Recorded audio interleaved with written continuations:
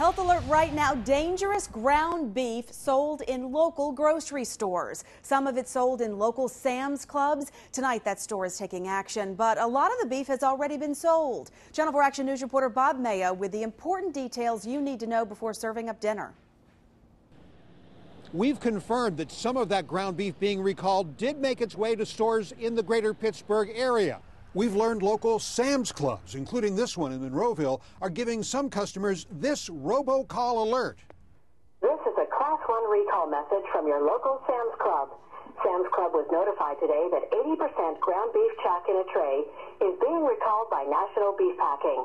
Sam's Club joined several chains, mostly in the southeast, recalling a total of 60,000 pounds of beef traced to the National Beef Packing Company in Dodge City.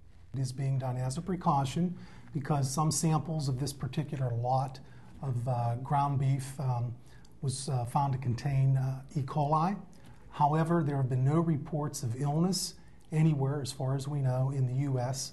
Uh, linked to this product. Sam's Club tells us recalled ground beef was sold at Sam's Club locations in the Pittsburgh area, as well as 19 states, including Pennsylvania. Stores were notified and products pulled on Friday. Registers were locked down to block sales. Recent buyers notified. No Walmart locations in Pennsylvania are affected. This involves eight different ground beef products, including 80 and 90 percent and reduced fat, tray, case, and patty products. The county health department says there's something you can do to make sure your ground beef is safe.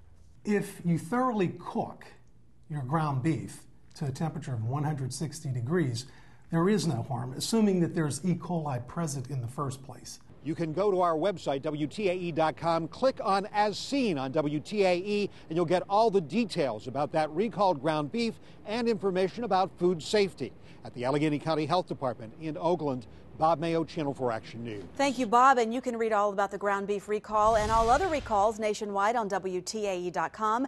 Just click in the recall link under Hot Topics. It's right at the top of our homepage.